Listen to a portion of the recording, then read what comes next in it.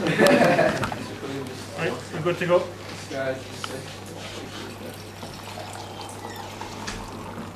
Boiling water goes in whenever you're Jay. ready. Three, two, one. So you're going to put it in and I'm going to hold it in there. I'm just gonna hold it in. At least sounds fun. Put it in, Aldo. Keep it in. Keep it in. Don't let it touch the glass. Don't let it touch the glass. And you notice what? It's vibrating. Keep it in there for about half a minute. Anyone impressed by any of this so far? I don't really know what's Can you not see it? Has the color changed? It's expanding. Oh wait, no, that's just the glass. Sorry. Holy crap. Oh my god, that is savage. That's pretty cool. Did it expand? Oh, you shouldn't have. Right, thank you very much. What's Do it happening? again, do it again. We gotta go. Yeah, do you want to go again? Yeah. So you need to give it about another minute over there to let the rest there. It's so cool. Do- Did the water just like form around it? What up, put one around it? Very good, Louis, keep going. I don't know.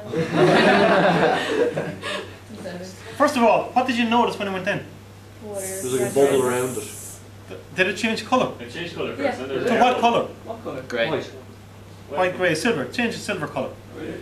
You didn't notice? Okay. Yeah.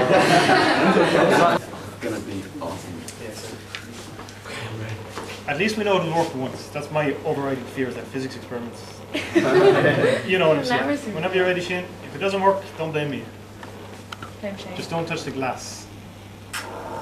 Excellent, I think. So what do we notice? Bubble. Keep it off the glass. That was cool. What about the colour? It's, uh, it's gone back to like. It's definitely silver to begin with. And it goes back to. That was. That's nice. So what we have here, That was good. just want to have your attention. You ever notice when you throw drops on top of a range or a cooker, they sort of skitter around Yeah, if oh, the yeah, cooker is really hot? Same idea. What's actually happening here is that boils the water immediately around it. So the water around it turns to a vapor. But that vapor then is very slow in moving away. So what it actually does is it acts as a little blanket. Yeah, So the reason it's changed colour is because, as you all said, you do actually get a tiny amount of, a tiny surface volume, a tiny width of bubbles the whole way around it. That's what changed the colour.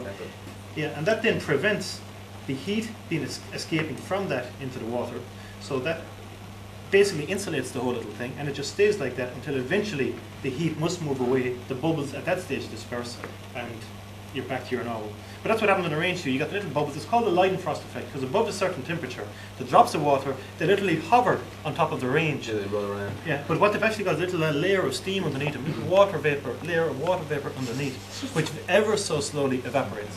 Right? And when it evaporates, at that stage, the whole bubble just goes, just bubbles up, and the whole thing evaporates. So that's what happens here. It's called the Leidenfrost effect, and. This is the